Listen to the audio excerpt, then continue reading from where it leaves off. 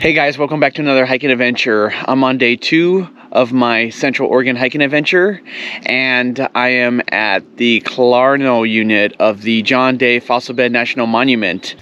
So this park has four different trails, all a quarter mile long, and they start the same trailhead.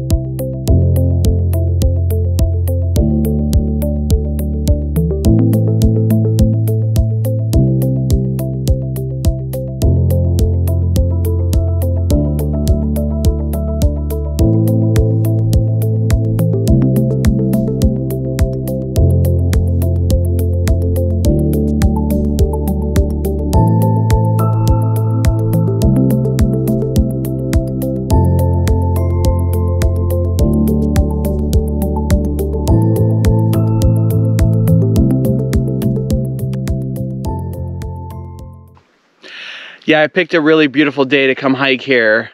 The park itself is really pretty and uh, you got your browns, you got your green hills, you got your rock formations, you got fossils if you can find them. Well, that concludes today.